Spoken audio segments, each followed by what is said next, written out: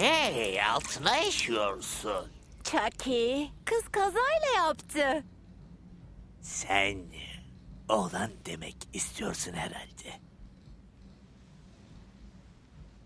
Bana hiç bakmayın.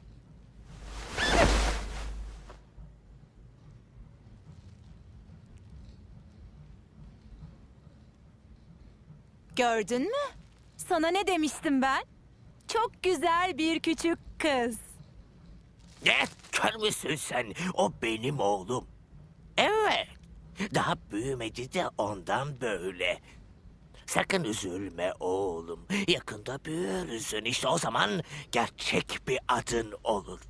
Bakalım galiba sana şey diyeceğim Glenn. Glenn mi? Kıza hiç böyle isim konur mu?